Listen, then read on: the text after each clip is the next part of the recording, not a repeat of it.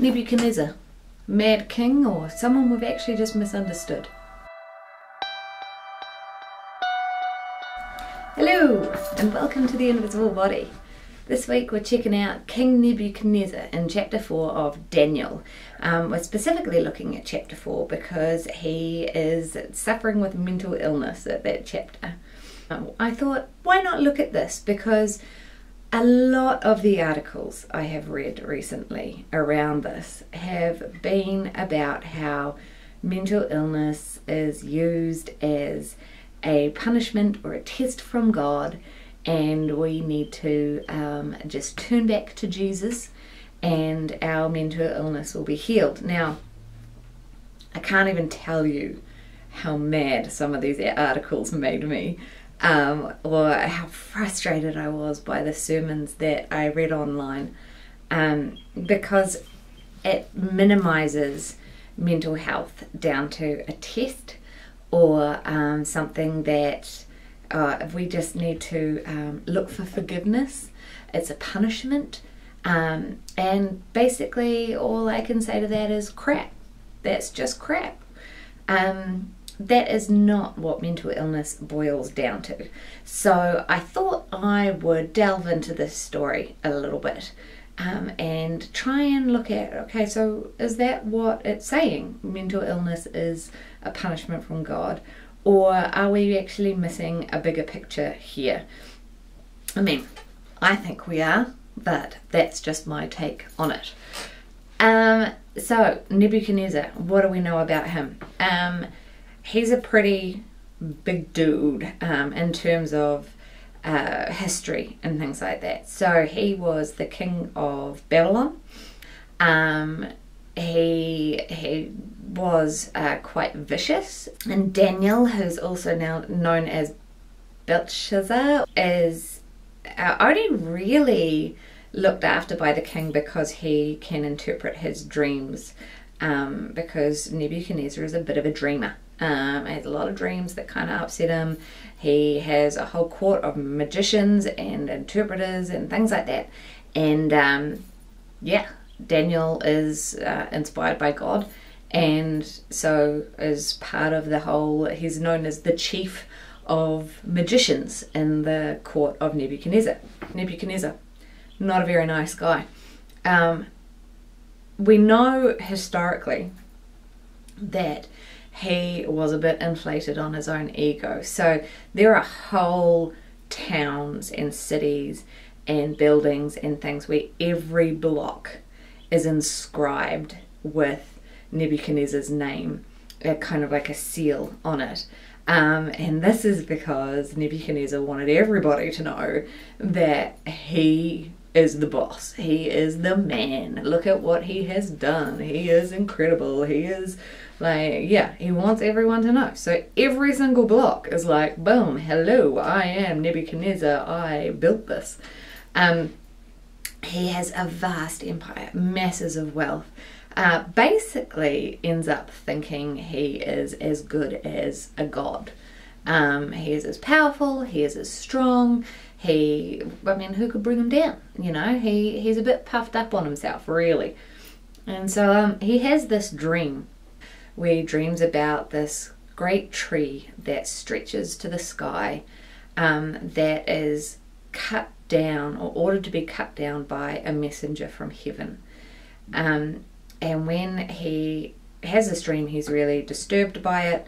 So he gets all his magicians in, including Daniel, and tells them the dream. And Daniel is really uh, quite nervous about telling the king had the interpretation um, because it's not good news. So he basically says, Hey, old Nebby, um, this is a dream about you. You are the tree. Um, you know, you are going to be cut down by God for seven years, um, you are going to be humiliated, basically.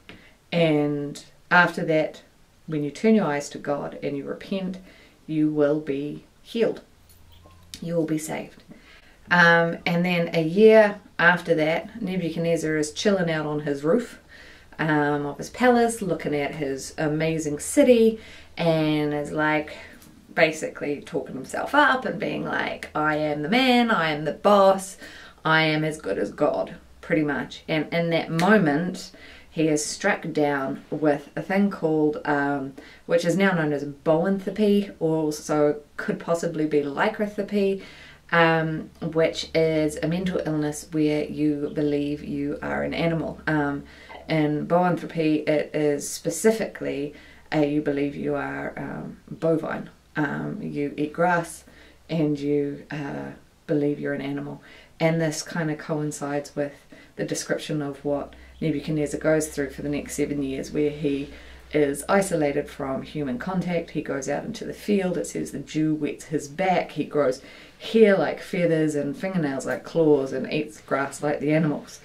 Um, and at the end of that, he turns his eyes up to heaven and acknowledges God as the most high God, and uh, his illness is taken away, and he goes back to being a king, albeit a very humble king this time.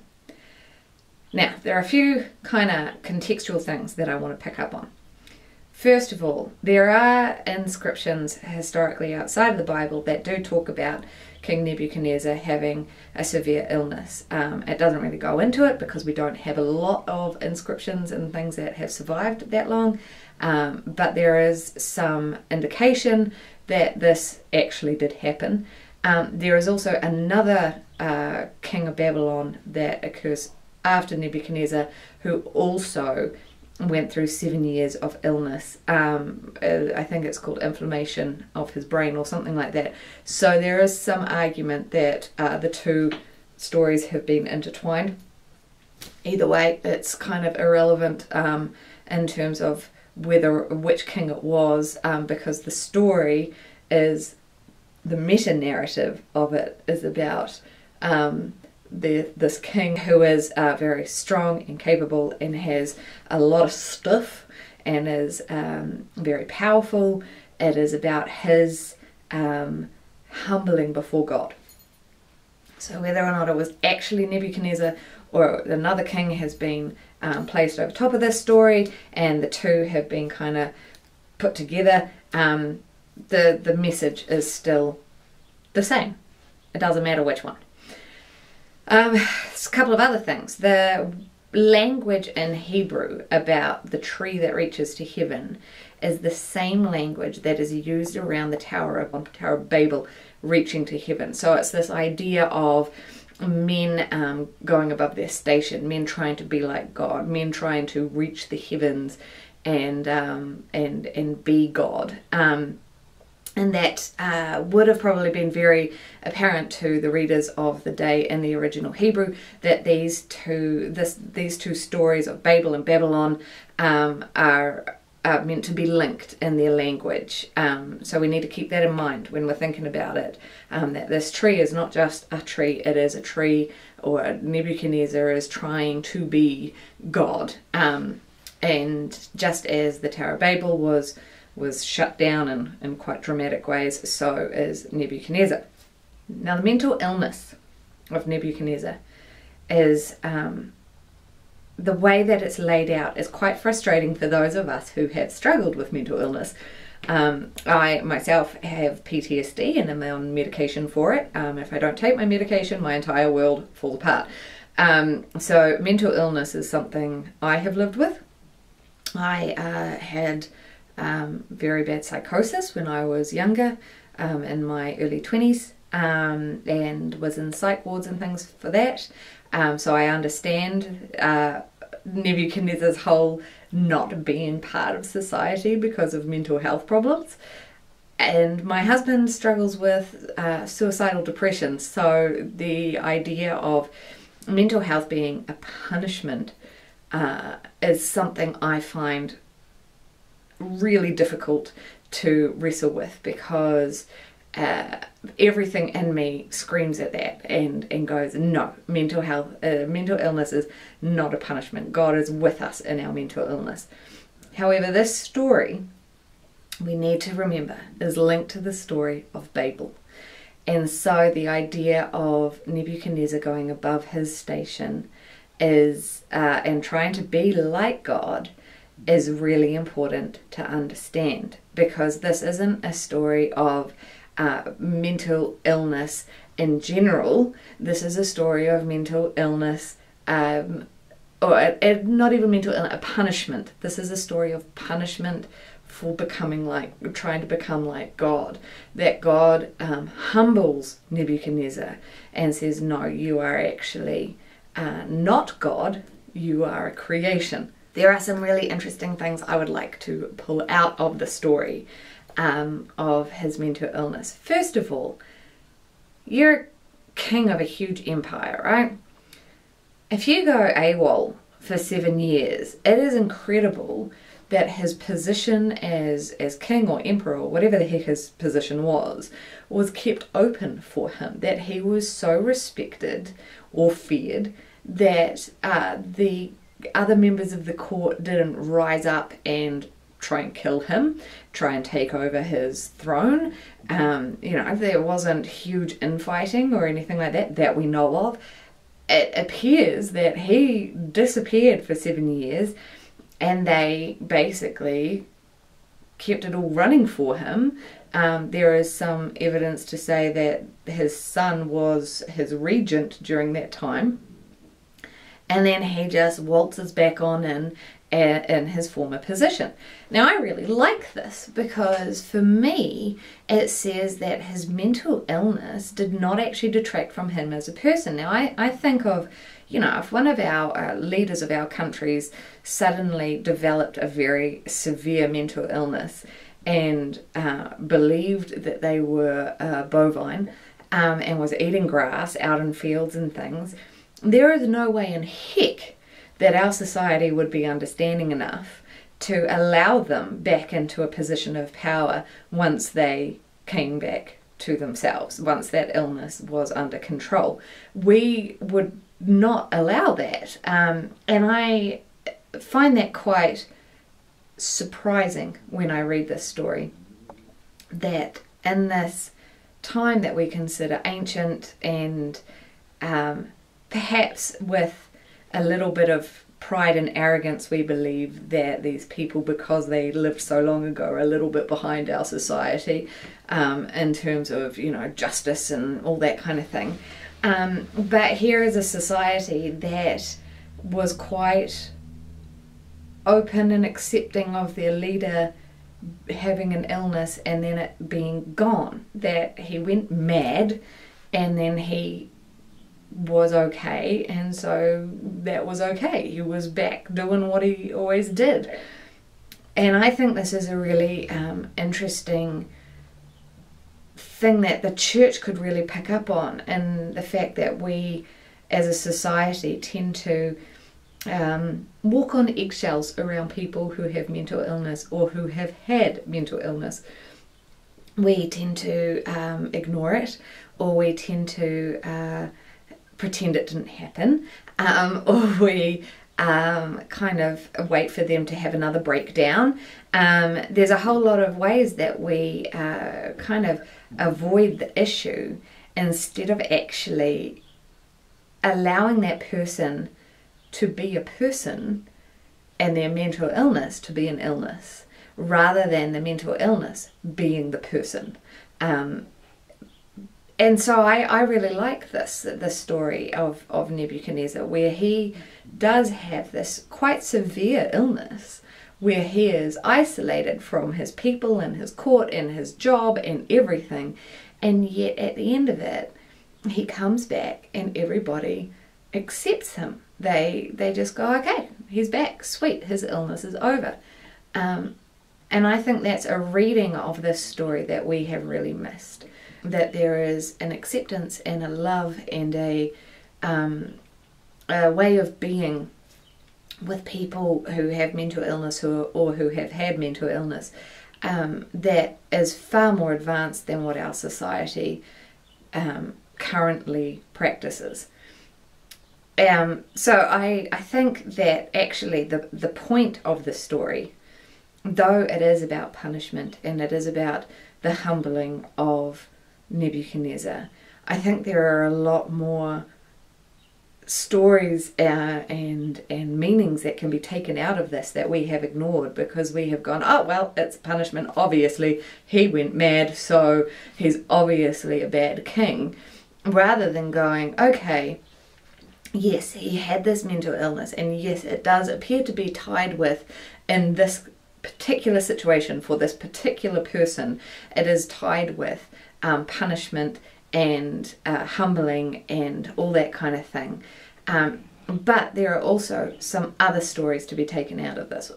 Mainly one of acceptance of of his illness, one of allowing him back into society in the position and the fullness of the human he was before his illness. Um, things that we uh, are missing in our sermons. Um, the number of sermons I have read that have taken this individual instance of mental illness as a punishment and applied it to everybody with mental illness, which is so damaging.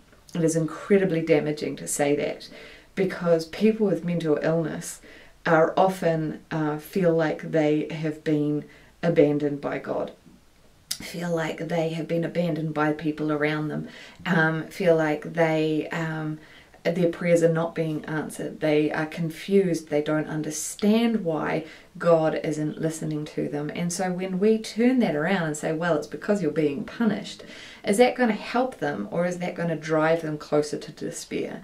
Is that going to make them feel loved and accepted by Jesus or is that going to make them feel even more misunderstood and outcast? Instead, we could use this story to show an acceptance and grace and love of the community around Nebuchadnezzar, even while he was in his illness. Um, that yes, God uses some very strange ways of punishing and humbling people, particularly in the Old Testament, that we don't really understand. But it is the um, reaction of those around Nebuchadnezzar that we could really draw from. Another thing I would like to point out is that um, God very clearly warns Nebuchadnezzar that if he does not change his ways, a punishment is coming. Now, this is very different from mental illness that most people experience. There is no warning, there is no um, reason for mental illness. Um, and I think when we go oh, look, this one story of punishment can be applied to everybody with mental illness. We are actually undermining what God is trying to do with Nebuchadnezzar. Um, that God, in His grace and in His love and in His wisdom, gives Nebuchadnezzar a warning, and Nebuchadnezzar ignores it. Now, God isn't doing that with other mental illness. God isn't isn't standing up with everybody who suffers from depression or schizophrenia or whatever boanthropy um, and saying if you don't change your ways this is going to happen. Now this may still happen in individual cases, but it isn't happening across the board, and so we cannot take this one story and apply it to everybody because the circumstances are very different. And I think God Himself would be horrified um, in hearing some of the sermons we have created out of this one story instead of going, look, God in His grace and mercy warned this Nebuchadnezzar that a punishment was coming, and then in His grace and His mercy allowed forgiveness and and restoration in Nebuchadnezzar. I think those are the big elements of the story. The punishment in the middle could have been anything, but it happened to be a mental illness, and so we have taken that and gone, well, that explains every mental illness, particularly because mental illness is an illness that is so hard to understand, it is easy to simplify it rather than delving into it further and going, how do I, as, as somebody who knows someone with mental illness, how do I love this person as a person with the mental illness there? Also, on the other side of mental illness how do I love them and support them in the way that they need, rather than trying to oversimplify the reason that they have this illness and actually causing more damage and more harm, particularly spiritually for that person. So, in summary, King Nebuchadnezzar did experience mental illness as a punishment from God. But this is an isolated incident. Just as God uses in the Old Testament punishment um, with other types of illnesses, in this particular one, mental illness was used to humble King Nebuchadnezzar. However, the story is about God's grace and love and mercy in warning Nebuchadnezzar and in restoring Nebuchadnezzar. It is not about the punishment bit in the middle. In fact, there is very little um, actually talked about in terms of the illness itself. I think there's one or two verses in the middle saying basically he was ill, and that was it. Secondly, we cannot take this one story of mental illness as a punishment and apply it to every mental illness and every person we know who struggles with mental illness ever.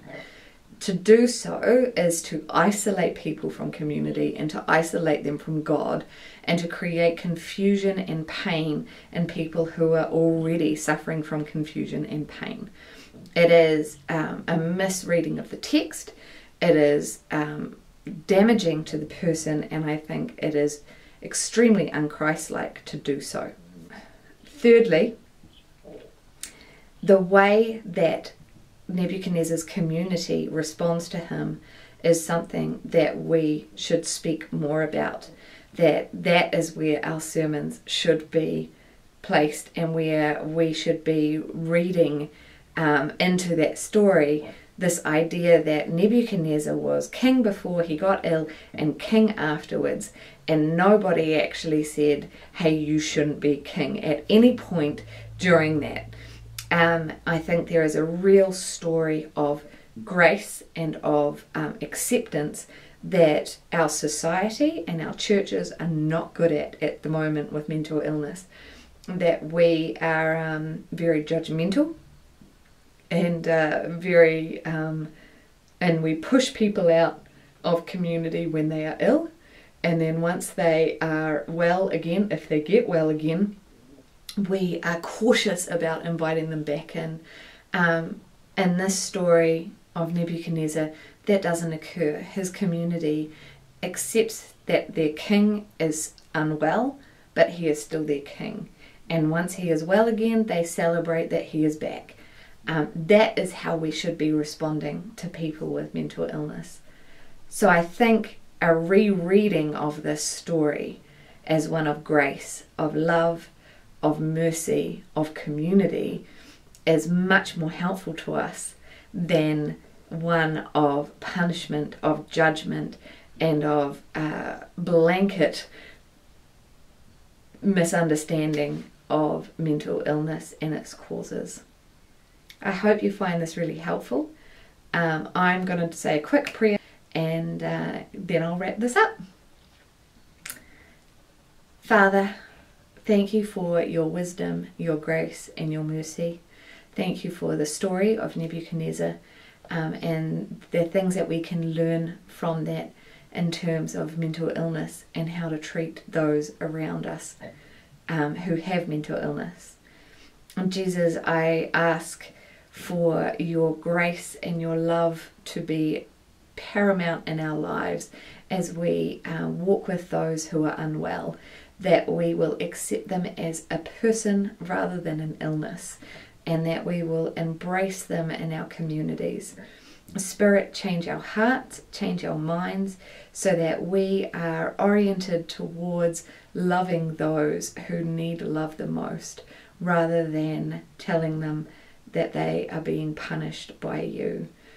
We ask this in Jesus' name. Come, Lord Jesus. Amen. All right. We'll see you next time.